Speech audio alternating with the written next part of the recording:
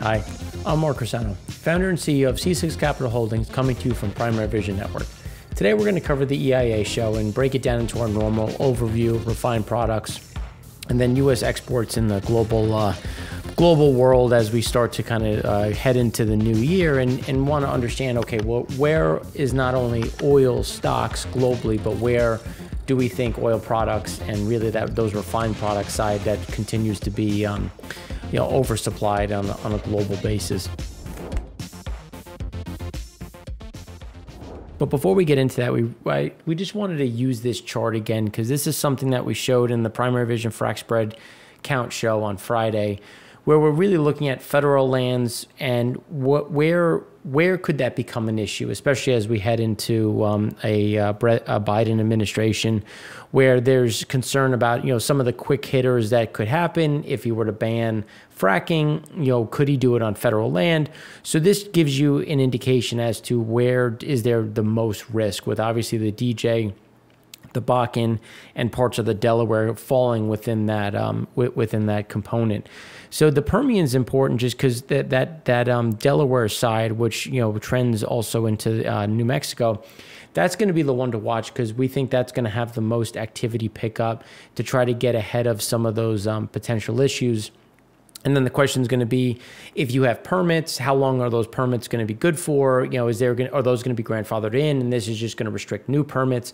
So again, these are things to consider when we when we look at federal lands and where we have most of that high concentration of oil and gas wells. So again, this is going to be something to to watch as we look into uh, production, and how do we adjust that production? And then that, that's when we get into our crude stock. Uh, crude drew down by about 3.25 million. I was really driven mostly by PADD two, if if you know, which is the Midwest that Cushing, where uh, Midwest was down about 2.43. Cushing was down uh, almost 2 million. And that was why we, when we were talking about the shifts that we were seeing, that we expected to see some, some pull from uh, Cushing down into PADD three and down into the Gulf of Mexico not only because exports remain strong, but also because we see uh, some pickup in activity that should happen along that Gulf of Mexico. You know, we there were some small draws with obviously PADD three having a draw of about 1.17 million, but again, still well over that year over year and five year average. You know, the bigger thing that's going that we should watch as well is going to be production that continues to sit at about that you know what we consider to be about 10.9 million. This is going to be one where as we have obviously uh, crude prices uh, you know holding fairly stable where you know they're down to about 52.80 but still still elevated uh, and allowing uh, activity to, uh, to to start back up.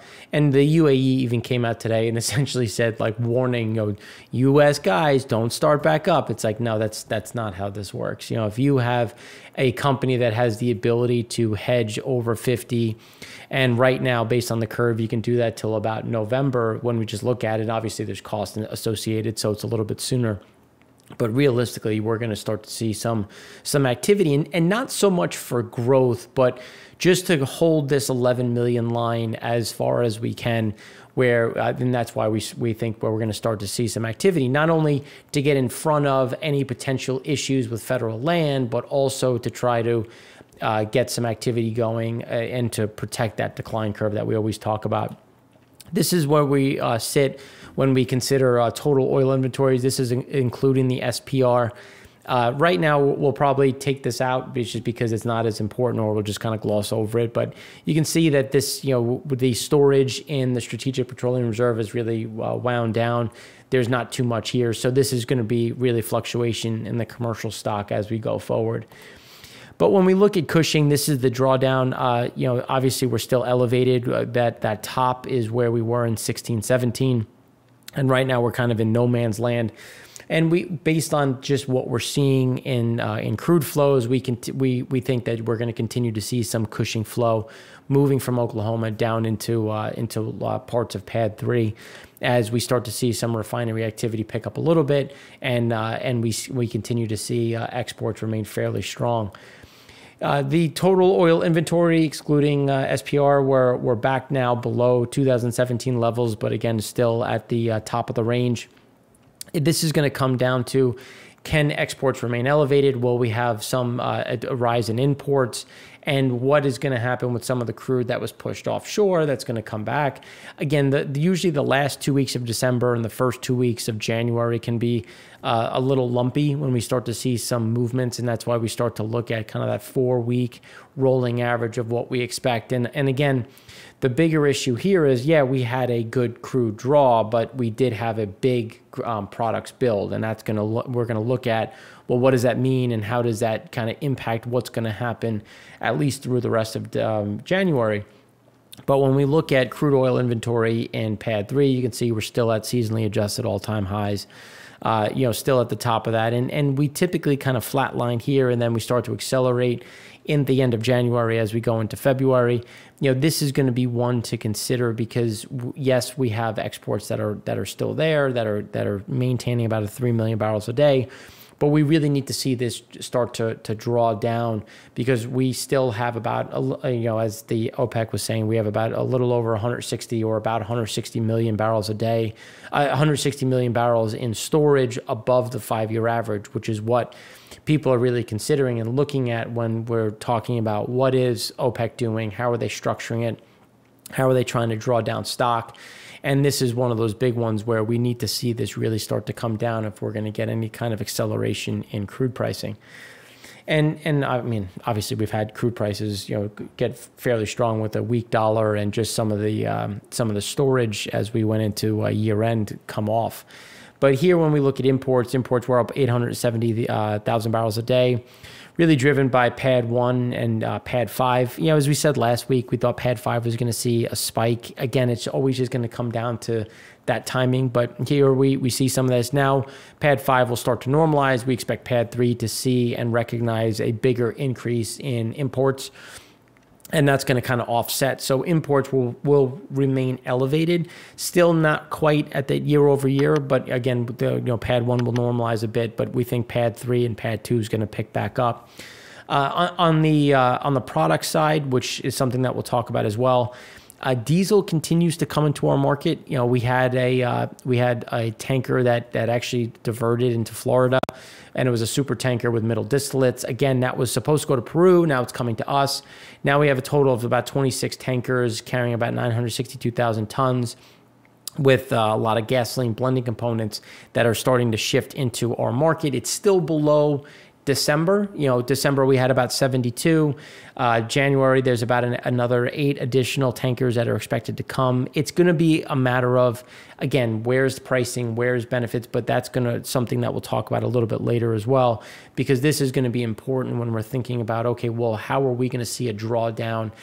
in crude stock in uh, in crude stocks if we continue to see these builds in uh, in products because again you're taking oil you're making product and if those products continue to go higher with weak demand you know uncertainties going forward then you're going to start to see some of that um some some of those uh, increases that we've seen in refinery activity start to kind of level off and come down a little bit which will slow that oil demand overall and that's why when we look at runs, it's so important to appreciate kind of where we sit. So our view is that we were going to get to about 83% uh, really by the end of January. Right now we're at about 82%, so we're kind of right within that that ballpark.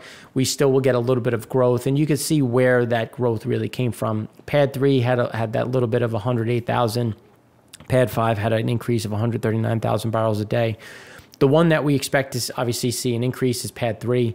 That's one that we that we think is going to get that extra one percent up but again, we're not. Eh, there's really not enough activity to to see that run past that 83% utilization rate, which is again going to going to kind of marry with well, how are refined products doing? Where is storage? And that's where we're going to have to consider is okay, okay, if we can't keep it in storage here, or if we don't have demand here, what is the abroad look? And abroad is softened a bit which is again going to start to uh, to weigh on how active refiners are going to look because we have seen some increases in uh, crack spreads, which again has supported, but on a seasonally adjusted level, it's still very low. It's right at the bottom of the range, and that's something to consider because even though we've had some strength come in, it's really not enough to see not only just increasing uh, you know uh, runs, but also which again is going to be oil demand, but their demand on the consumer side continues to be under pressure, which is why we continue to see builds in refined products on the back end. you know, implied demand. This is what we were talking about last week, and the ones that we that we want to talk about quickly. Gasoline was one that we continued to to uh, be concerned about. We think that's going to remain low. Uh, it only had an increase of about 91 91,000 barrels a day. The one that we thought, well, I should say the two that we thought were going to see some love, uh, especially this week and into next week, is uh, dis, uh, distillate and jet fuel. So distillate was up 668,000 barrels a day. Again, this is a very seasonal move. Uh, the the cold snap will help. Obviously, there's concern about will polar, polar vortex come down. Again, that will be supportive of uh, distillate and that heating oil demand. Diesel uh, remains robust, especially into trucking, so that's going to be some some uh, support. You know, the the problem is going to be uh, how aggressive can we get? How much uh, demand can we see over the coming weeks? And you know, right now we we think that it's just going to continue to track the five-year average, even though we do have some tailwinds. The the the normal, or I should say, where we normally used to be on heating oil demand continues to get diminished as we see natural gas taking market share, you know, a bit more propane taking market share. And again, these are things that are going to weigh. So even though we do have that bullish push we're going to cap out much sooner than we have in the past, and then we will get some demand from from uh, the trucking side. But again, that's also been realized. Uh, jet, this is this is kind of that seasonal pump that's going to fall off quickly, uh, so that's one that we don't think is going to uh, is going to remain. You know, propane again coming full circle to that heating demand. Propane is going to continue to be one of the ones that's going to see that demand when it's it's going to take from diesel, but again, propane is going to be the one to watch because even though we may be concerned about some of the refined products, we think LPG, LNG, propane, natural gas in general will have uh, some some uh, some longevity to some of these moves that we're continuing to see, uh, not just in the U.S. but also abroad. Now, when we look at, uh, at crude oil floating storage, as we said last week, we thought we were going to fall within the bottom of the cloud, and here we are. It's not. Uh, there's really nothing to say, you know, based on what we're seeing. There's really nothing that's going to push us back to the five-year average. Uh, we're going to stay within the bottom of the range as we go through uh, the rest of January at this point, just based on what we see in the water, what's going to come this way. So again, there's there's not too much in terms of uh, shifts uh, up or down in the crude oil uh, floating storage, and especially like as we always highlight or try to highlight, typically we see uh, refinery throughput increase in PADD 3, and then that increases imports, increases pull from uh, from Cushing.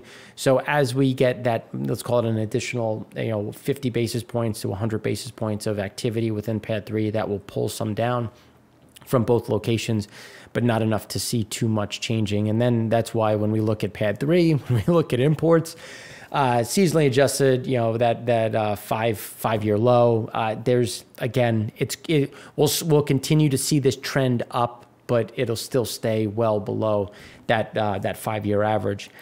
But when we look at PADD two, and this is one that we've been talking about, you know, we have a new seasonally adjusted high over the last five years uh, it's going to continue. We, uh, we, we just see additional strength. It, will fall back as you can see. It's fairly lumpy, and and where the the slope, uh, if you look at the average here, the slope is the same. It's just obviously from a much higher starting point, and we think that we'll get this move down. But a, again, we're going to maintain this elevated level and we think that the trend will stay where we get some drawdowns and then we, we build back up. It's just going to be at a level of, you know, let's call it 3.1 million and not the average of 2.8. So again, we're just starting at the higher level and we're going to have the same seasonal or weekly moves. But overall, we're going to continue to see imports into PADD 2, especially as we have more demand for, for diesel, heating oil. You know, that's going to be supportive of activity uh, for the refining side within um, the Midwest, which will pull down more crude, especially because this is going to pull down from Canada. It's going to pull down some of the heavier barrel barrels, which is good for that heating oil disty cut. Again, these are things that we're considering as we go through the end of January.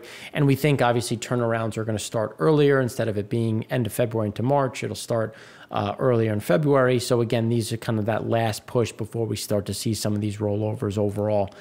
And then when we look at just total activity uh, within within the uh, uh, the the grouping, as we've said, you know, we're we're back above the bottom. You know, that bottom is really 2010. Uh, it it's just 83% is kind of where we think we're going to sit. Maybe we get some spike to 85, but it, over the next uh, two weeks, we think it's going to be at that uh, you know average about 83% uh, utilization rate. There's really not much to say or really any demand to show that this should go much higher. So that's why we're comfortable kind of staying within this uh, this throughput point, which is is enough to draw down some oil barrels. But again, with that that those big bills and refined product, you know, it's just taking an oversupply from one and putting it into another. But we still have an oversupply in in, in one, and now we're getting a bigger oversupply in the other. So again, you're just we're just moving the problem from one part of the supply chain to the other and that's why we have to really consider what is going to what's going to happen with uh, refined product demand on the consumer side, which we'll cover in the next segment.